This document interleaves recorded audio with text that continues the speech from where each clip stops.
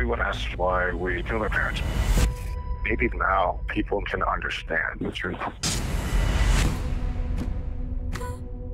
My name is Erik Menendez. My name is Lyle Menendez, calling you from uh, Donovan Correctional Facility. Lyle was the only person that had ever protected me. What happened that night is very well known, but so much hasn't been told. If anyone had written this for a script in Hollywood, the Hollywood people would have gone, no way.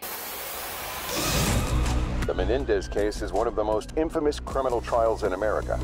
The brothers accused of the murder of their wealthy parents in Beverly Hills. It was like an incredible soap opera.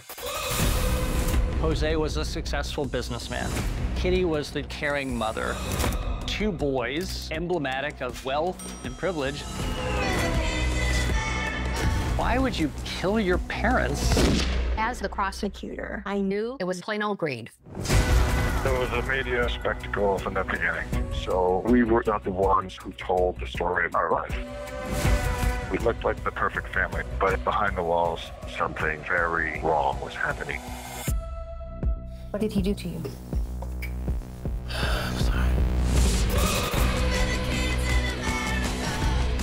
There's the TikTok movement to free the Menendez. There's a new generation that support the brothers. People are looking at the case with fresh eyes. Two kids don't commit this crime for money. And there's people that believe I shouldn't spend the rest of my life in prison. That judge was determined he was going to get a conviction. These kids went through some horrible things. I'm telling you now, it's all fake. And if you don't know it's fake, that pisses me off. There is no evidence saying they're not guilty. We would much rather lose the murder trial